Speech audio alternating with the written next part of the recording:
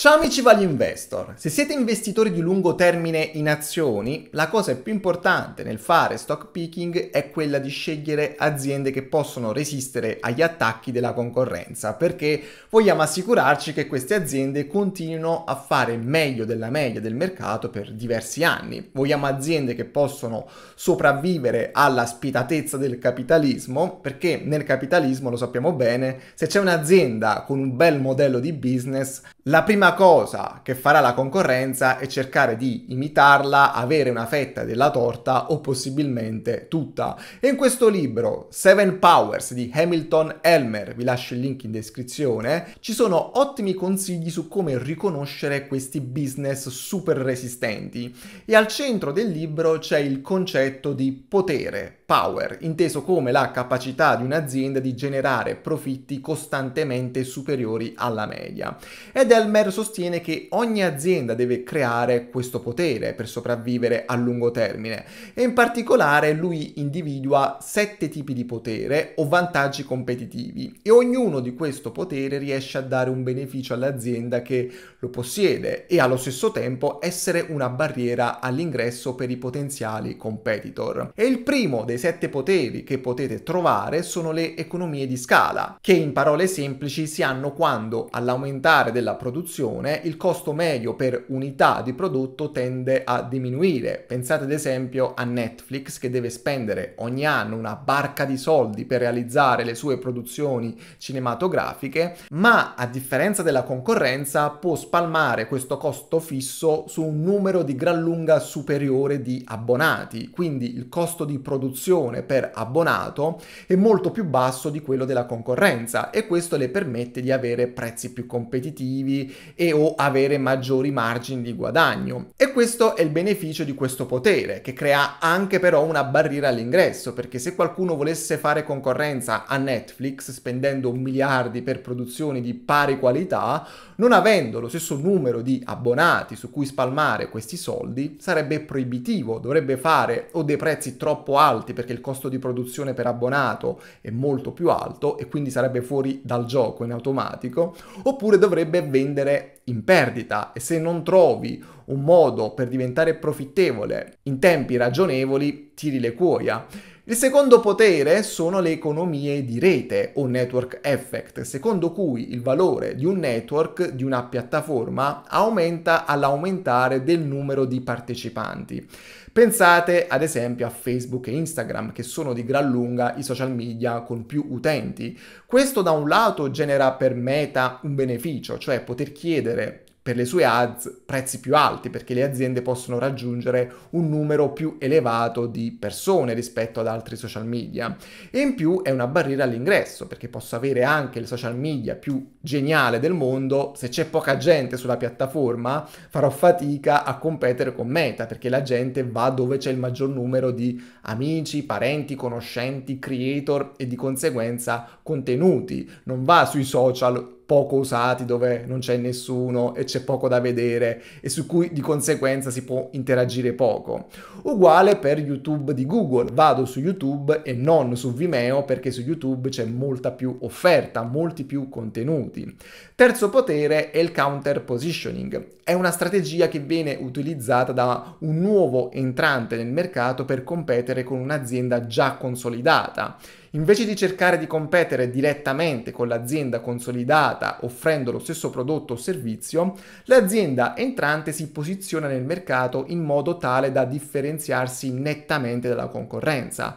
Questo può essere fatto in diversi modi, ad esempio offrendo un prodotto o servizio innovativo che soddisfa un bisogno diverso dei clienti, concentrandosi su un segmento di mercato specifico che non è ben servito dall'azienda consolidata, o adottando un nuovo modello di business completamente diverso. E per il business consolidato il problema di imitare il nuovo entrante è che ha il rischio di dover ridurre in modo importante il valore del suo business o addirittura distruggerlo. Prendiamo ancora come esempio Netflix. Blockbuster era l'azienda consolidata nel mercato, ma Netflix aveva un nuovo modello di business, lo streaming. Blockbuster avrebbe potuto trasformarsi in piattaforma di streaming e imitare Netflix, ma avrebbe dovuto distruggere i centinaia e centinaia di negozi che aveva sparsi in tutto il paese. Avrebbe dovuto rischiare di distruggere il suo business senza sapere se poi l'avrebbe spuntata. Quindi non l'ha fatto ed è morta. Perciò questa è la barriera all'ingresso. Il beneficio per chi usa questo potere è che avendo il dominio nella sua nicchia riesce a praticare prezzi più alti perché la tua offerta è percepita unica e di valore dai clienti e o ad avere costi più bassi perché sei specializzato, fai solo una cosa ma fatta bene. Altro esempio può essere Tesla. Quando ha iniziato a fare auto elettriche, un business che era ancora una nicchia molto piccola del mercato, le car company legacy come Ford, General Motors o Volkswagen non le sono venute dietro perché la nicchia era troppo piccola. Ci sarebbero voluti troppi investimenti con ritorni probabilmente non adeguati e avrebbero dovuto distruggere parte del loro business con nuovi impianti di produzione per le EV e fornitori specifici per produrre EV, tipo fornitori di batterie ad esempio. E voi sapete bene invece quanto sia importante la standardizzazione dei processi produttivi per queste aziende. Quindi Tesla prima ha goduto di questa barriera all'ingresso e nessuno le è venuta dietro per molti anni dandole il tempo di sviluppare prodotti di alto livello e crearsi un brand che ha poi potuto monetizzare alla grande e ha potuto sviluppare economie di scala specifiche per le auto elettriche, quindi è diventata anche molto efficiente nella produzione di questi veicoli e quindi ben profittevole. Quarto potere è lo switching cost, letteralmente costi di cambio, e sono quei costi che un cliente deve sostenere per passare da un fornitore di beni o servizi a un altro. E i costi possono essere di penali se si recede dal contratto, di tempo necessario per dover imparare ad usare il nuovo prodotto o servizio, costi di installazione, rischi che qualcosa vada storto durante il passaggio al nuovo fornitore, rischi di non trovarsi bene con il nuovo fornitore, eccetera. Quindi questi costi e rischi rappresentano rappresentano un importante disincentivo a cambiare e quindi una barriera all'ingresso e danno il beneficio a chi ha questo vantaggio competitivo di poter praticare prezzi più alti per un prodotto o servizio simile a quello della concorrenza. Alcuni esempi sono le aziende di software, le SaaS come Adobe e Salesforce.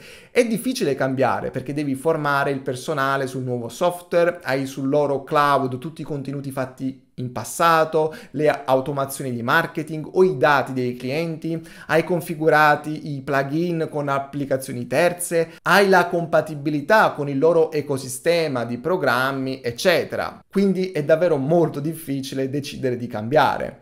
Quinto potere è il brand e questo potere si verifica quando un gruppo di clienti è disposto a pagare di più per un determinato brand perché hanno una percezione di più elevato valore della sua offerta, anche se magari il prodotto o servizio non è tanto differente da quello della concorrenza. Quindi come beneficio ho che posso praticare prezzi più alti e come barriera all'ingresso ho che la concorrenza per poter costruire un brand capace di competere con il mio ha bisogno di molti anni e di tanti investimenti clienti, quindi c'è una barriera all'ingresso a livello di tempo e costi non indifferente.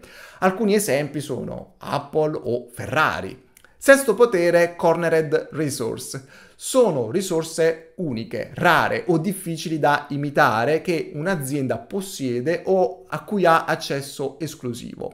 Queste risorse conferiscono all'azienda un vantaggio competitivo significativo e le permettono di distinguersi dai suoi concorrenti, come ad esempio terreni particolari con materie prime molto richieste, ma queste risorse possono essere anche dipendenti o un CEO incredibilmente talentuoso, lo Steve Jobs di turno o anche relazioni privilegiate con alcuni fornitori strategici o con il governo, oppure semplicemente brevetti che mi permettono di avere prodotti e tecnologie in esclusiva.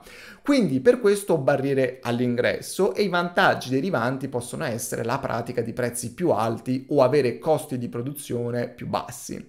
Quindi gli esempi più lampanti sono le aziende di estrazione mineraria o petrolifere che possiedono le miniere e i terreni o hanno la licenza in esclusiva di estrarre da quei terreni, oppure aziende che possiedono o hanno in esclusiva il diritto di utilizzo di linee ferroviarie, autostradali, eccetera. E poi ci sono le aziende farmaceutiche che hanno brevetti sui farmaci.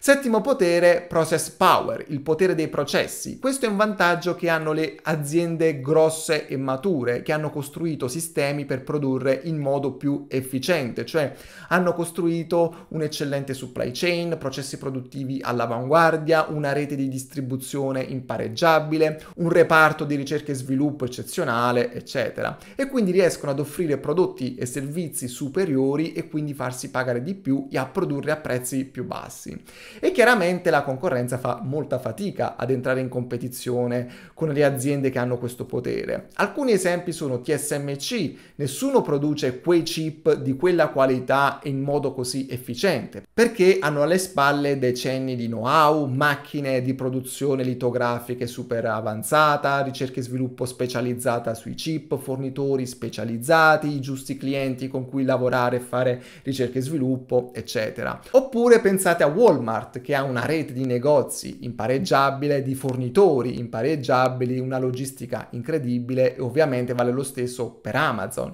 O anche BYD che è la car company più integrata verticalmente al mondo e riesce così a creare auto all'avanguardia, a prezzi imbattibili e replicare quello che ha fatto BYD è davvero molto molto difficile. Questi erano i sette poteri, ma cosa importante sapere è che questi poteri vanno perseguiti, sviluppati dall'azienda in una specifica fase della sua vita, perché i poteri di Cornered Resources e counter positioning sono la strategia da perseguire nella fase di lancio di un'azienda, perché devi avere qualcosa di esclusivo per entrare sul mercato o una strategia che non ti faccia andare in diretta concorrenza con i colossi e non puoi avere già altri poteri nella fase di lancio, come ad esempio non puoi avere già il potere del brand visto che servono molti anni per crearne uno oppure le economie di scala, se è ancora troppo piccolo. Quindi una volta che hai creato almeno uno dei due poteri nella fase di lancio dell'azienda, devi perseguire la creazione di questi altri poteri quando sei nella fase di crescita.